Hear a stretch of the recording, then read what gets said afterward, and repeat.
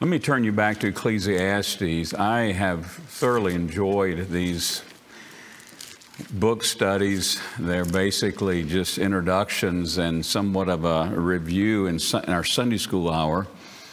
But sometimes uh, during the week, as these things are being uh, re- reviewed and put together, uh, I think about how practically these things apply to our lives. And I. Um, I realize that part of what Solomon's saying is history repeats itself.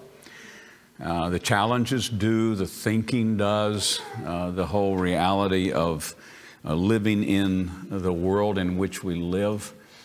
Um, I think Ecclesiastes for us is um, additionally relevant because we live in a society that actually purports all of these things that Solomon says will not bring you happiness and will not bring you fulfillment. I'm often caught up in conversations in thinking about um, how much our present context affects the way we think about things. It affects the way we think about Christianity. It affects the way we think about the challenges of life. And I consciously try to imagine myself in a different culture at a different time. The reason I do that is because I realize how prone I am to interpret life based upon where I live and the day in which I live. And sometimes we just got to back out of that. And, and sometimes we're making decisions based upon um, a, a Christianity that is dominated by and shaped by where we live and at the time in which we live. I think a lot of uh, those challenges have to do with how we exercise ourselves in these kind of things and the decisions we make and the directions we set as Christians uh, that would not transfer to another culture.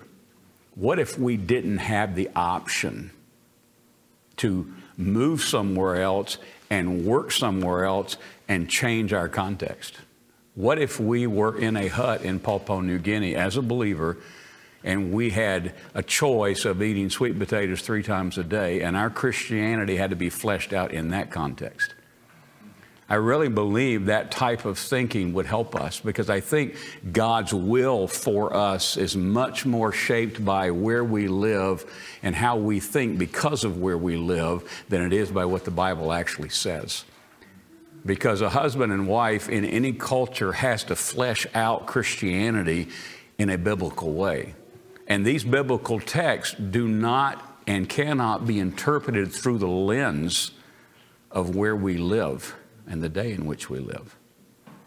That being said, I believe the challenges of Ecclesiastes are cross cultural and they cross historic time because I think we would agree that there's, there's always this idea that if I could have more wisdom, if I could have more insight, if I could have more knowledge, if I knew more than I presently knew, I would be happy, I would be satisfied. If I could enjoy more pleasure, I mean, how, how we scramble for leisure time and how leisure time is held in such high regard. We can't wait to, to find leisure time and, and, and we're still there. That's what he, that's what he was saying. We're, we're, we're looking for pleasure, uh, things, hobbies, and projects. Here's a guy with unlimited resources who built to his heart's content. If he wanted to build something, he would simply say, Build it, and have the money to build it. That's what Solomon says here. And he says, You know what? Got it built. Didn't do it for me. That's not what God has for us. And so, my encouragement to you this afternoon is to try in very practical ways to pull yourself away from where you live at the time in which you live, in the affluency in which you live, and flesh out your Christianity there, and then think it into where you do find yourself living. And allow that to be the undoing of this wrong thinking uh, that, that ends up forcing the scripture into a place that God doesn't want us to force it into. It ends up interpreting the scripture based upon what we presently understand and presently experience. I don't think this is an overly complicated challenge. I think it's a simplistic challenge. I think it causes us to step back and causes us to sit down and causes us to, to take these scriptures and to try to get the message that is actually uh, being given here. So uh, in chapter 1, verse 16, there's unrivaled wisdom. In chapter 2 and verse 8, there's unequaled wealth. In chapter 2 and verse 7, there's unlimited servants. In chapter 2 and verse 3, there's unrestrained pursuit of pleasure. In chapter 2 and verses 4 through 6, there's unending projects. I think, wow, what a description. Unrivaled wisdom, unequaled wealth, unlimited servants, unrestrained pursuit of pleasure, and unending projects. And I ask myself, I ask you, do you find yourself in any of these descriptions? Are you caught in the cycle of these life searches? Have you any level, have you at any level bought into the American dream? Are created things and earth-side experiences the things that get you up in the morning? Are they the things that occupy your mind? Are they the things that motivate you? Are they the things that occupy your time? Even folks' hardship. Uh, you talk to people and, and the, their experience, their, their place, what they're going through, their testing, that's, that's life for them. Uh, for a guy like me, ministry could be life for me. That could get me up in the morning. That could motivate everything in my life. And I follow through, and you follow through with Solomon and he's saying, actually, any of these created things, even any of these creature things that occupy a place higher than our Creator, uh, is futility. It's vaporous. Uh, my mind immediately went to Romans 1, where Paul talks about a depraved culture that worships and serves the creature the creation more than the creator. And I, I, recognize with you how anything in our lives can be given worth or can, or can be counted more worthy of our time and money and thought and occupation and energy than, than our Lord. And Solomon's theme, his repeated message is, you know, that, that's vaporous. That, that will never do it. How many times have you wished that in your life you would have just taken God at His word and not had to experience it to find out God knew what He was talking about. Wouldn't that be delightful if we just read something like this and said, Got it? But that's not the case, is it? Uh, how many times these things are repeated? Um, uh, I, I, have these thoughts and share these thoughts with Laura from time to time when I hear about a decision that's being made. And, and I said, you know what? He's not going to find what he's looking for there she's not going to find what she's looking for. They're not going to find what they're grasping after there. And I'm interested that uh, Solomon speaks in terms of youth. He speaks in terms of considering these things while you're young. And I expect that's because while you're young is when you are developing patterns in your life that could follow you throughout life. And I have to say, as a pastor, I've watched people go through, going to try this for a while, I'm going to try this for a while, I'm going to try this for a while, and try this for a while and trying to love and be forbearing and, and, and at the same time wanting to say to them, you're not going to find what you want in, in where you're searching. And that is indeed what Solomon is saying to us. But then he adds this statement it's vexation of spirit. I love that phrase because I find myself vexed in spirit sometimes. Anxious, right? Uh, energized. There's a vexation of spirit. There's a there's kind of a wrangling that goes on. Um, maybe the word, best word's a churning, a churning that goes on in our spirit sometimes because we pursued this and pursued this and pursued that. It's like, that didn't do it for me. It vexes our spirit, it churns our souls. Uh, I, I expect as well in looking at this phrase that there is part of a nagging emptiness there. A nagging emptiness there. I could imagine Solomon building something else and then going and sitting down in that new thing that he had built and went, That's all. That's it.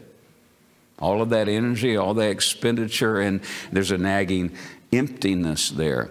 And in Romans 126, in speaking in the same terms of worshiping and serving the creature and created things more than the creator, it says, For this cause God gave them up to their vile affections.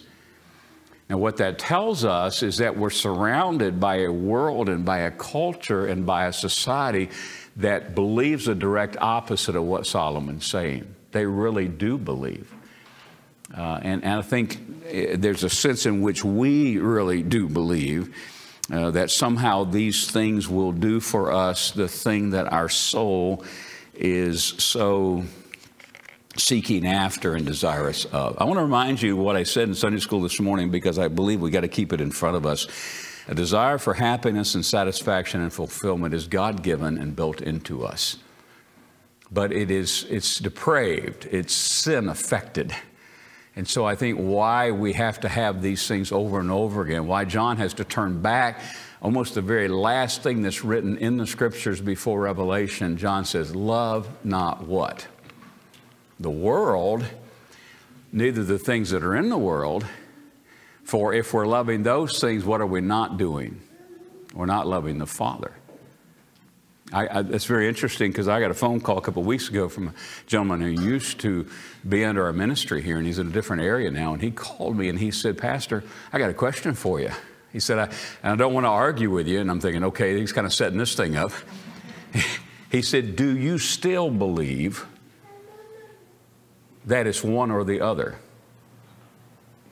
I said, What do you mean? He said, Do you, do you still believe that it's either loving the Father or loving the world. And my question would be back to him what you would expect. Well, what does it say in the text? And I felt like as the conversation went on for 35 or 40 minutes, he wanted to negotiate some middle ground. And I'm so thankful he called me because I, I never have thought of trying to negotiate a middle ground. The love of the Father is not in him. And yet, is it not natural for us to navigate a third position? And, and, and to do that, knowing that our Heavenly Father knows everything that's at the root of our souls, is it's vanity. It's a ridiculous thing to do, isn't it? It's futility. And so, as we think this afternoon a little bit about combating, combating the vanity of life, I just want to turn you to the last chapter of Ecclesiastes. And this is where Solomon leads us. And I'm so thankful again that throughout the book, uh, he sends up uh, flares in regards to the answer. He, uh, this is not a fatalistic book. This is not a pessimistic book. This is not a skeptical book. This is the wise man reasoning with us. He's not fatalistic, he's not pessimistic, and he's not skeptical. Because he keeps stopping along the way and said, Would you just enjoy what God's given you? Could you just relax and enjoy the good food? Could you enjoy the wife of your youth? He actually says that pretty straightforward. Won't you do that? Would you stop looking for something else? Will you stop searching for something apart from where God has you right now? That's wisdom, isn't it? That is wisdom. So the preacher is preaching his message and, and gives us those kind of things. And he comes to chapter 12 and he makes this statement, verse number one. Ecclesiastes 12:1.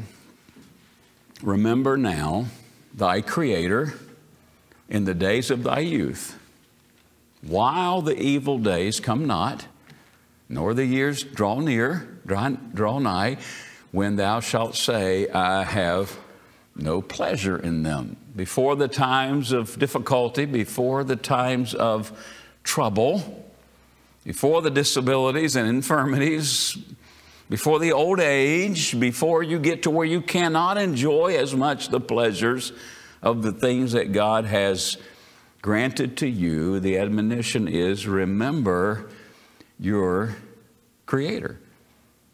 Remember your Creator. Combating the vanity of life, uh, Solomon says in involves remembering your Creator. I think we can stop with those four words for just a moment and, and recognize that He is giving us God's answer to the difficulties and uncertainties of life. See, I think why pessimism and skepticism gets tossed at this book is because there's a lot of negative stuff in this book. And, and you know, you get up in the morning and, and the, the wise man said, well, here's what life is like. You work, you accumulate, you die, and somebody else gets to enjoy what you accumulate. Like, oh boy, it makes me want to go to work. And it just goes on like that, doesn't it? It just it serves that up over and over and over again. And so by the time we get to the end and we hear him say, Remember now thy creator in the days of thy youth, we say, okay, this is God's answer to the difficulties and uncertainties of life. This is a fact. This will happen. You will get sick and you will die, and things will not go the way that you had hoped they go. Difficulties and uncertainties of life, God's answer is to remember now thy Creator. That's God's answer to the difficulties and uncertainties of life. That ministers grace to us, folks. Uh, again, my, my wife is, is uh, my companion and my best friend, the one that I could talk to openly and comfortably. And uh, sometimes she says, You need to preach that. You need to preach that. And I'm thinking, I won't remember it after our conversation. I'm going to preach that. But we were talking this week about trying to help people. And we were sharing things together. And I said, You know, honey, I, I think that we have to stop. We have to stop talking about the challenges and stop talking about the irritating person and stop talking about whatever it is in the details and the mechanics of life and turn their heart to the Lord. I said, I would encourage you to say straightforward, we are going to stop talking about this and we're going to start fellowshipping around our God. Let's agree that our conversation is not going to the conflict. Our conversation is going to remember now thy Creator. Because if I am fearing God and keeping His commandments and walking with Him, you know what? Those other details will be worked out. And I suspect that we build a pretty complex model when we want so much to put together all the parts and pieces. And we've become very mechanical at this. Why don't you write a book on how to do this? And so we come up with 25 steps on how to love your wife or how to respond to your husband, all this. I suspect that we have very much complicated our lives and, and also caused some challenges with each other because now I have a extra biblical model as to what loving my wife looks like. And I have a, and I'm going to pick on Bob because he can take it. And I'm talking to Bob, and he's not doing either seven, eight, or nine. And I'm thinking, hmm, get with the program, right? Well, the problem is the Bible's nowhere in that whatsoever. We have mechanically created a model instead of Bob and Mike agreeing, we will reverence God and we will have Him rule our lives. And I know that when I'm reverencing God and He's ruling my life, I love that lady. And I love her in tangible ways, not making up with flowers for some way I've failed her, not doing all the little things that I heard at the couples retreat. But the love of Christ now dominating me can love her. And she can, in response, reverence her husband and follow her husband because she is she's convinced that her husband is committed to reverencing the Lord. And she's seeing purity of motivation and purity of desire. And so when he gets to the end here, he says, Would you remember your Creator? I love the way he says that because he doesn't, in this case, say, Remember Yahweh, although that would be good. I'm thinking, Oh, okay, my Creator. You mean the one that designed me to bear his image and be in his likeness? That one. You mean the one who invented I'll keep it on the marriage level, invented marriage and knows how it will work. Mike, would you remember your Creator? The one who gave you all these blessings when he keeps saying in here, eat your food, drink your drink, enjoy it. Your Creator gave you that.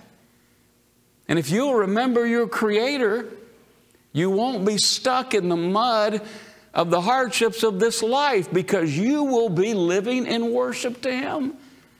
And when you will understand, you, like myself, may have had a handful of people in your life who were under hardship, so much so that you couldn't understand how they could rejoice, and yet they were rejoicing.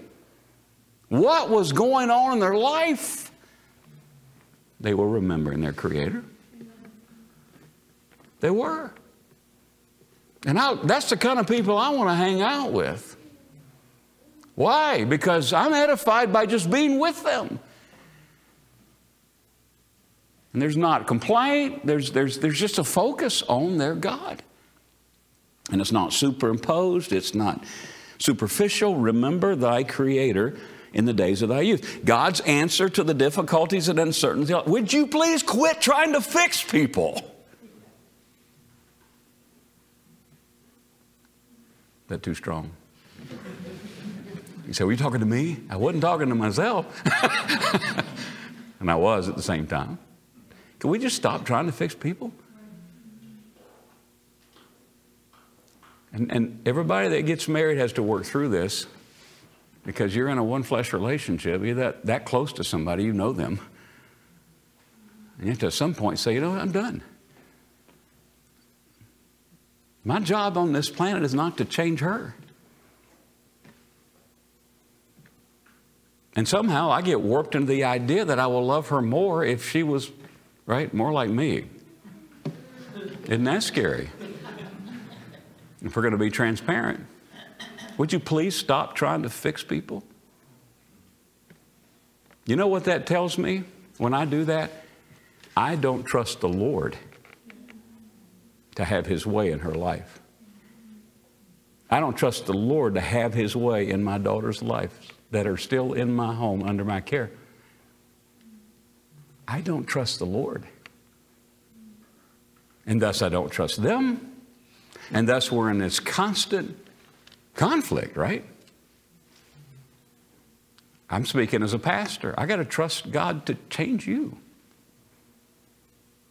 I can't do that. And when I get overexercised to do that, that tells you that's a signal. He's not trusting the Lord to do what only the Lord can do. No permanent long term change will ever happen apart from God doing it. And you can structure up a storm, but you're not going to do what only the Creator can do. Remember thy Creator and trust Him to work in each other's lives. Trust Him to direct your brothers and sisters in Christ. God's answer to the difficulties and uncertainties of life is remember now thy Creator in the days of thy youth. God's solution, secondly, God's solution to the vanities and passing pursuits of life, God's answer to the difficulties and uncertainties of life, and God's solution to the vanities and passing pursuits of life is to remember now thy Creator. All of those empty things, all of those things that could be in uh, in the right place, the, the blessings of this life that we live, that, that become vanities and vaporous because we're trying to find satisfaction there. We're trying to find fulfillment there. We're trying to find happiness there. Those are vain, vaporous things. There's nothing wrong with most of these things in and of themselves. What's wrong with building something? Nothing. Nothing. What's wrong with being wise? Nothing. Solomon would never say that. But pursuing wisdom so that you will find happiness in that, no, there's where the, there's where the vanity is. There's where the emptiness is. There's where the vexation of spirit is. Remember now thy Creator in the days of thy youth, God's answer to the difficulties and uncertainties of life, God's solution to the vanities and passing pursuits of life, and it's God's conclusion regarding wasting one's life. It's God's conclusion regarding wasting one's life. Do not waste your life this way. Turn your attention to Jehovah God. Turn your affection to your Creator. And turn your attention away from everything else. While life, he says, now, now, while life is still in front of you. And some of us don't know how much more life there is in front of us. So listen to the way he says it. Remember now, thy Creator. And if you're young and haven't dealt with so many of the hardships and challenges of life that Solomon says is part of life, while life is still in front of you, remember your Creator. While turning is an option for you, I think he's saying before life ends for you. Remember now thy Creator in the days of thy youth while the evil days come not, nor the years draw nigh, when thou shalt say, I have no pleasure in them. Verse 2 says, While the sun or the light or the moon or the stars be not darkened, nor the clouds return after the rain. In the day when the keepers of the house shall tremble, and the strong men shall bow themselves, and the grinders cease because they are few, and those that look out the windows be darkened, and the door shall be shut in the streets when the sound of the grinding is low, and he shall rise up at the voice of the bird, and all the daughters of music shall be brought low. Also, when they shall be afraid of that which is high, and fear shall be in the way, and the almond tree shall flourish, and the grasshopper shall be a burden, and desire shall fail, because man goeth to his long home, and the mourners go about the streets or even the silver cord be loosed, or the golden bowl be broken, or the pitcher be broken at the fountain, or the wheel broken at the cistern, then shall the dust return to the earth as it was, and the spirit shall return unto God who gave it. Vanity of vanities, saith the preacher. All is vanity the whole duty of man, beginning in verse number nine, and moreover, because the preacher was wise, he still taught the people knowledge. Yea, he gave good heed and sought out and set in order many proverbs. The preacher sought to find out acceptable words, and that which was written was upright, even the words of truth. The words of the wise are as goads and as nails fastened by the masters of assemblies, which are given from one shepherd. And further, by these, my son, be admonished of making many books, there is no end, and much study is a weariness of the flesh. Let us hear the conclusion of the whole matter. I fear God and keep his commandments, for this is the whole duty of man. For God shall bring every work into judgment with every secret thing, whether it be good or whether it be evil. I just say to you, the Lord knows what He's talking about. He's the Creator. And you'll either take Him at His word or you won't. The one is belief and the one is unbelief. But God has answers for us. But as long as you are set where you are and will not bend, you are set where you are and will not bend. And you have not chosen the satisfaction and happiness and the fulfillment that God has for you. Let's pray together. Father, we thank you. We thank you for this gathering, Father. What a joy the music has been this afternoon again. What a blessing to be able to freely stand here and communicate your word, to try to meditate a little further, to make some application of the things that we studied early this morning to seek to send these dear folk out with things to chew on and to meditate on, and to apply to their lives. And we have truth from you. And we are prone to go every direction under the sun to seek for that truth instead of just taking up your word again and embracing it by faith. Father, we have been told over and over again that faith really is the challenge for us. That we are of little faith, that we at times, Father, we lose faith, we falter in our faith. And this is certainly a text that calls us to faith, to believe you, to take you at your word, and to set out with whatever days are left for us to be the people that you saved us to be. We praise you and thank you for these things in Christ's name. Amen.